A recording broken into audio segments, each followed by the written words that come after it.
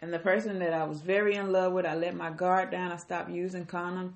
We was very close with one another. We was, we had fell in love. We was gonna get married, and that's when I let my guard down. And when you let your guard down, that's when you get caught in a bag.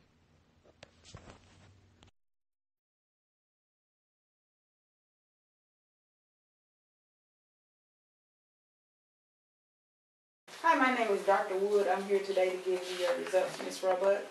Are you ready for your results? Yes, ma'am. What we did is an HIV test. It tests for your antibodies in your body. And the test found out that you has HIV. Wow. So, do you know about where you may have contracted this disease at? No, ma'am. Well, I went to the doctor today. I got my news that I had HIV, and I was devastated. But I prayed about it and I moved on. How you doing? My name is Kendall Rucker. I'm here with Connie Roebuck, aka the Condom Lady.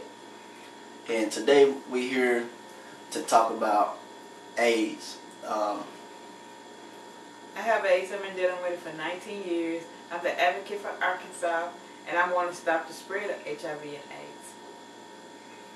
And we hope this documentary will save lives, if not everybody. We hope this film reaches at least one person they listen very closely. All right. Well, like I said, my name is Connie Roebuck, aka the Condom Lady. I have AIDS. I've been dealing with it for 19 years. I contracted this disease. I was living in Florida. I was dating this cat. He was cheating on me with a man. But he died. And I'm still here to promote what I'm trying to do. Stop the spread of HIV and AIDS.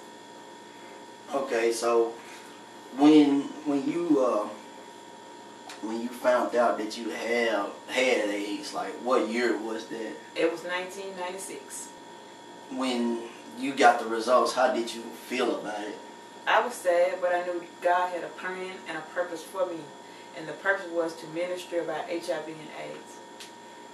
Like, I know a lot of people I read in the news that people spread it. What I mean, they get bitter, and what made you not be that bitter person and not tell people that you had AIDS, and what made you just want to help people learn and understand about AIDS and HIV? Because I was here before AIDS, and I'll be here and AIDS will be gone. And that's why I didn't get bitter. That's why I, you know, tries tries to educate people. Like I said, so they won't be a statistic like the condom lady. Okay, like, how did you get the name the condom lady? I gave out a billion condoms. That's how I got the, the name the condom lady. Okay, a billion? A Like billion. a billion. That's that's a lot. And I'm still passing them out. That, that's good. Um, let's talk about your book. Um, li- uh, our lives, our story. Um, what made you come up with this book? Because I wanted to put the face with HIV and AIDS. And I wanted to put different faces with HIV and AIDS. Not only me, others. Like I, I see, um, it got you, then like three other ladies. Can you? Um, I I read the book. It's really a good book to read. Um, like y'all was brave to tell y'all story. Like y'all really put y'all name out there. What made y'all wanna, you know, instead of just writing a book, what made y'all wanna put y'all face and name on the book? Well, I was the captain of this ship. And I told them when I was looking for women, if you wanted to participate in this project, you had to put your name with your face. Did any did any of them didn't want to? At, At the beginning, two or three of them didn't want to put their tell their real name. They wanted to play a name. I said no. I'm the captain of this ship, and people need to know the true people who are in this book. and like uh, in here, it um, the, up in the book, it tells you know um, how you know that you got it in 1996, which you already talked about. But how did your family and friends and feel when you uh, opened and told them about, you know, you had AIDS? Well, in the beginning, my mom, she turned her back on me. But with prayer, now she's beside me. And that was the only person that turned their back. My siblings, we all are close. My dad, he never turned his back on me. And in the 19 years that I've been sick, one of the pills in, uh, that they gave me was called Zerit. It was too strong for my body. It gave me neuropathy.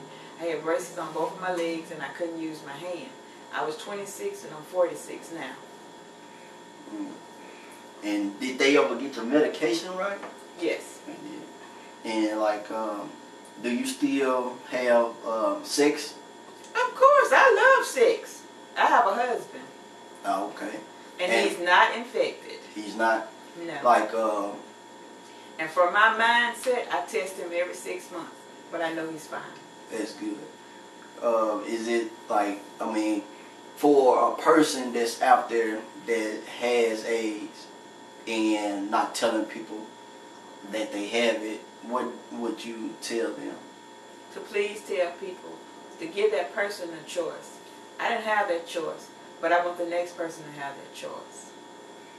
So when you when you told your husband, well, um, back when you first met him, y'all was boyfriend, but now it's your husband. When you first told him that you had AIDS, what, how did he respond to it? I said, hi, my name is Connie Roebuck. I have AIDS. He said, I love you. That's what they make condoms for. And we've been together 10 years. And, like you was just dead blunt, like. I am a blunt person. Uh, well, Miss Connie, you you a brave lady, and I love you for your courage and everything. Because when I first, you know, I, I heard people here in our town, which is Forest City, Arkansas, say uh, Connie Roebuck, Connie Roebuck. She passed out a lot of condoms. I was like, I gotta meet this lady. And then once once I met you and I wrote you on Facebook to ask, you know, could I do this documentary? You was like, you'll be honored. Because I didn't tell you the truth. I didn't know how would you feel to tell your story. And I didn't know would you like to tell your business out and be, you know, let me do an up and close interview with you to tell the world uh, that you had AIDS. I am honored. I am pleased. So, uh, Maybe this story will touch the next person and they won't end up like the condom lady. So when you, uh, when the doctor uh, first told you, like, I mean, what was the first thing that came in your mind? How did you feel about it? Oh, I'm finna die. But God had a purpose and a plan for me. Because the medicine has has is is a whole lot better than it was when I was diagnosed. Because then we was like guinea pigs. They was experimenting on different drugs and this, that, and other till they got the right kind of drug to help us. Okay. Um, as you mentioned in your book, you said, uh, uh, what's the word that you use for your donor? Is it your donor? Down low, brother. Then okay. Uh, you said that when he uh, when he gave it to you, that you know you didn't know he didn't tell you or No, he was in the hospital dying. His uncle called me and told me, he said, Connie, you better get checked. I said, I, I already know. And he So- died from pneumonia. Pneumonia what killed him. okay. So uh, do you is you currently still on medication or Yes, I take my meds every day and I'm undetectable right now. That means I still have the disease. It's just dormant, laying dormant right now. okay?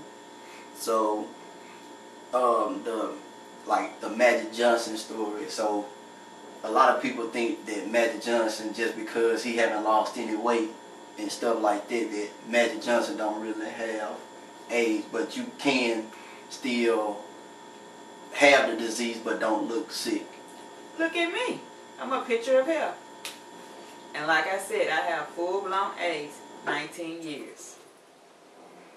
So did yours um, did your AIDS transfer from HIV to AIDS or was it already just AIDS? Or It how was did a- it work? it was already, you have to have HIV first before you can have AIDS. But when your T count drop up under 200, it's considered AIDS. And it don't go back. It just stay the same to be AIDS.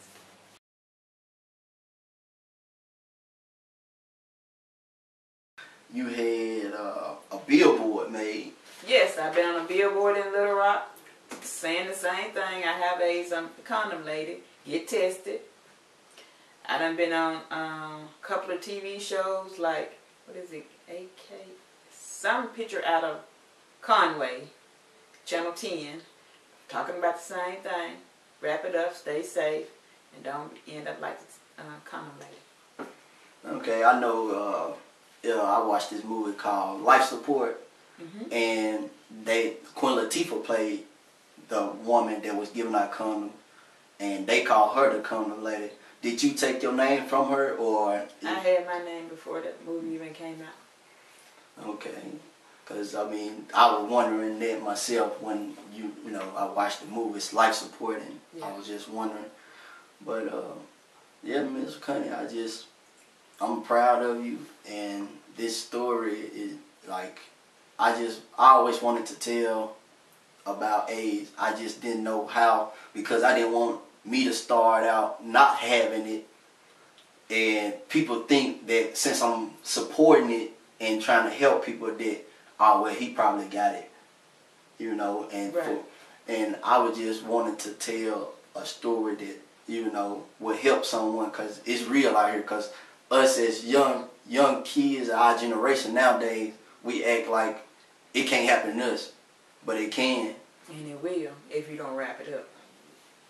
So we here we signing off Kendall Rucker Connie Roebuck, aka the Condom Lady. lady and we asking everybody to wrap it up Power in the name of Jesus. There is power in the name of Jesus. There is power in the name of Jesus to break every chain, break every chain, break every chain. Woo! To break every chain, break every chain, break every chain. There is power. Come on.